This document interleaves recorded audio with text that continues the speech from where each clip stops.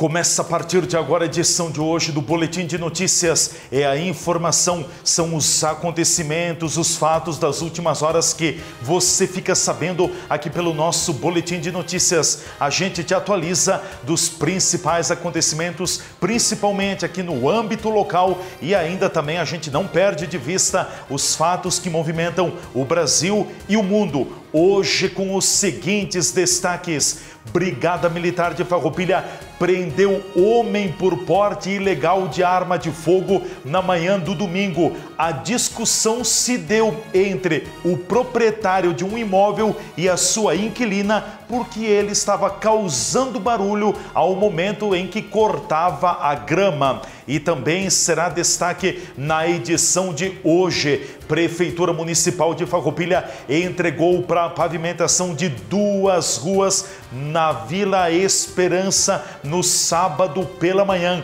Obras custaram um pouco mais de 60 mil reais. E também a notícia que é destaque em todo o mundo: o terremoto que atingiu a Turquia e a Síria já deixou mais de 2.700 mortos. Estas e outras informações em detalhes a partir de agora aqui no nosso Boletim de Notícias. E começamos ampliando esta informação. Brigada Militar de Farroupilha prendeu homem por porte ilegal de arma de fogo no município. O fato ocorreu na manhã do domingo, por volta das 10 horas e 40 minutos da manhã, na rua Vicentina, no bairro Vicentina, em Farroupilha. Os policiais acabaram prendendo no local um homem de 64 anos por porte ilegal de arma de fogo. A prisão ocorreu após uma discussão entre esse homem, que é o proprietário de um imóvel, e a sua inquilina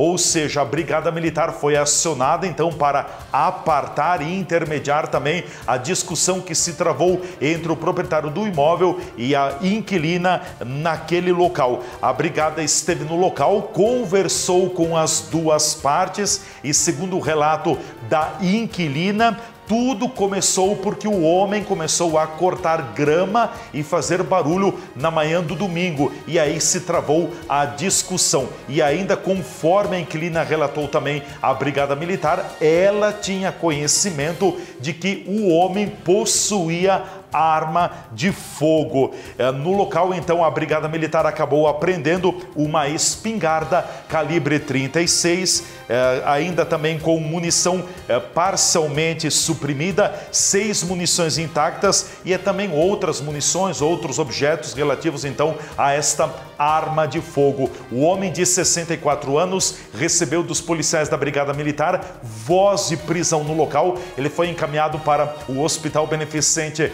São Carlos para os chamados exames de praxe de rotina para estes casos e posteriormente foi encaminhado então à delegacia da polícia e pronto atendimento aqui do município de Farroupilha. Homem de 64 anos preso na rua Vicentina por porte ilegal de arma de fogo. Mais uma informação do setor de segurança pública: Brigada Militar de Farroupilha prendeu menor adolescente por tráfico de drogas eh, durante a noite do domingo.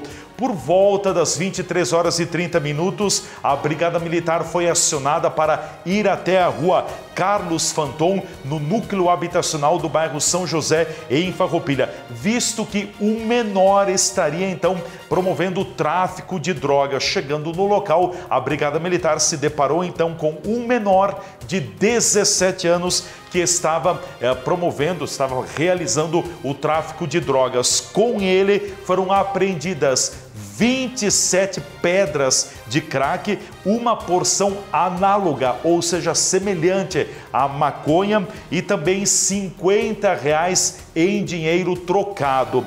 O menor infrator, o menor uh, de idade, então ele tinha antecedentes, ou seja, ele já tinha ficha policial e antecedentes, por exemplo, por porte ilegal de arma de fogo, por furto, por roubo e ainda também por tráfico de entorpecentes. O menor também foi é, apreendido, então recebeu a voz de prisão, foi conduzido ao Hospital Beneficente São Carlos e posteriormente para a Delegacia da Polícia e Pronto Atendimento aqui do município de Farroupilha. E ainda tivemos outras movimentações policiais também durante o sábado aqui no nosso município. Agora vamos para uma informação do, do Poder Público Municipal de Farroupilha. Prefeitura Municipal de Farroupilha entregou pavimentação de duas ruas na Vila Esperança. Na manhã do sábado, o prefeito municipal Fabiano Feltrin e o vice-prefeito Jonas Tomazini, acompanhados do secretário municipal de Obras e também eh, de Iluminação Pública, Obras e Trânsito, Argídio Schmitz e outros secretários municipais, promoveram a entrega de pavimentação em duas ruas da, da Vila Esperança, aqui no município de Farroupilha. A pavimentação se deu por meio do piso inter trava, intertra, intertravado, é assim denominado, é, de concreto. Piso intertravado é, de concreto.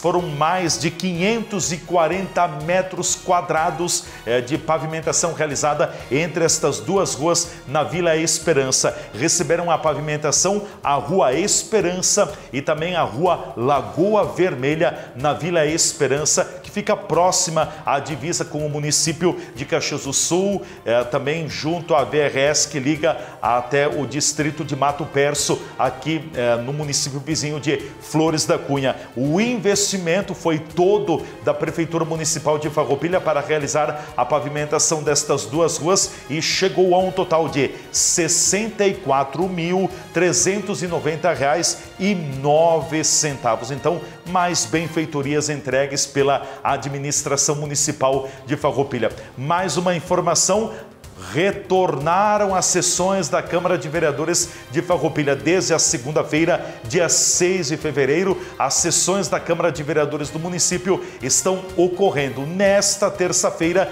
teremos então a realização da sessão ordinária a partir das 18 horas no Legislativo Municipal. É a sessão destinada para a votação, para a discussão e votação de projetos de lei, também de requerimentos e de outras deliberações dos vereadores do município de Farroupilha. A sessão terá início a partir das 18 horas e será a segunda sessão presidida pelo vereador da bancada do PL, o vereador Maurício Belaver. Então fica o convite, quem quiser e quem puder assistir a sessão, é, pode ir até a Câmara de Vereadores, não tem necessidade de fazer agendamento prévio. E para fecharmos o nosso boletim de notícias, um rápido giro também com as notícias pelo Brasil e pelo mundo. A notícia que é destaque durante toda a segunda-feira, o grande terremoto que atingiu a Turquia e também a Síria na madrugada da segunda-feira, horário local, aqui no Brasil ainda à noite do domingo e madrugada da segunda-feira. Lá na Síria, melhor dizendo, já,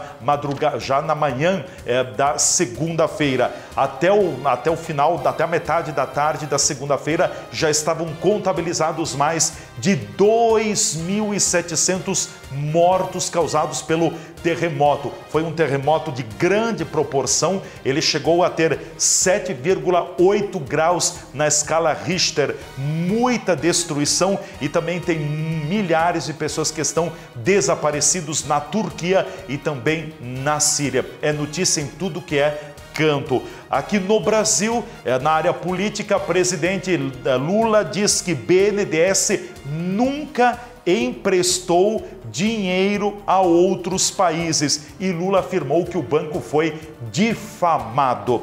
Mais uma outra informação: é, Michele Bolsonaro, ex-primeira-dama do Brasil, nega que tenha pretensão de candidatar-se nas eleições de 2026. O seu nome chegou a ser cogitado até para uma disputa à presidência da República e ainda para ser candidata a governadora do Distrito Federal. Michele Bolsonaro eh, descartou a possibilidade e disse: fiquem tranquilos. Estas são as informações, então, de momento, aqui no Boletim de Notícias, te atualizando, te deixando por dentro das últimas aqui na programação da TV Serra e pelas nossas mídias digitais. Do jornalismo da TV Serra, Leandro Adamati.